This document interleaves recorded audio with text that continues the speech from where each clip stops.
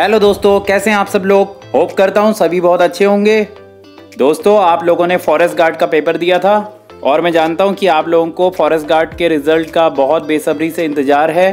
तो आज का मेरा वीडियो इसी विषय पर है। आज मैं आपको फॉरेस्ट गार्ड के रिज़ल्ट की एक्सपेक्टेड डेट बताऊँगा।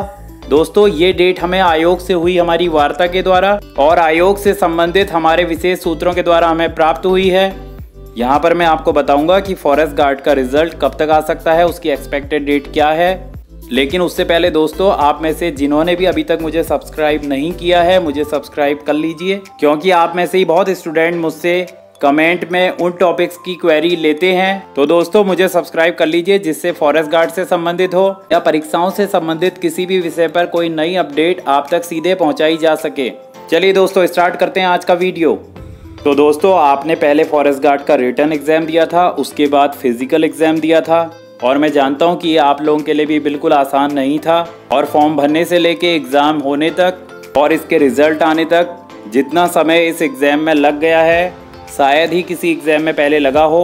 तो आप जानते हैं कि 19 अगस्त 2021 को आयोग ने जो आपकी शारीरिक दक्षता परीक्षा हुई थी, उसका परिणाम घोषित किया था।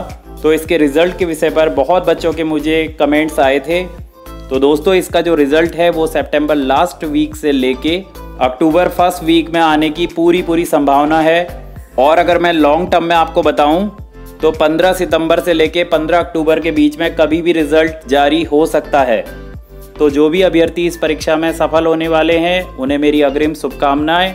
और जिनका कुछ नंबर से रह जाता है या जो पास नहीं हो पाते हैं, वो भी निराश ना हो। अभी आयोग ने बहुत सारी भर्तियाँ निकाली हुई हैं। आप उनके लिए तैयारी करें, पूरे मन से तैयारी करें। और दोस्तों, ये डेट्स एक एक्सपेक्टेशंस हैं तो हमें पूर्ण विश्वास पात्र स्रोतों से प्राप्त हुई हैं। लेकिन रिज़ल्ट कई विषयों को सामने रखकर आयोग द्वारा जारी किया जाता है।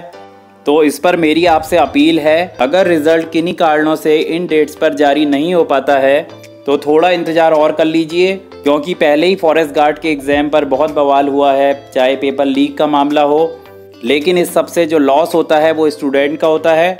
इसलिए आप बिल्कुल निश्चिंत रहें और जो डेट आपको बताई गई है, इनका इंतज़ार करें और आयोग को अपना काम करने दें।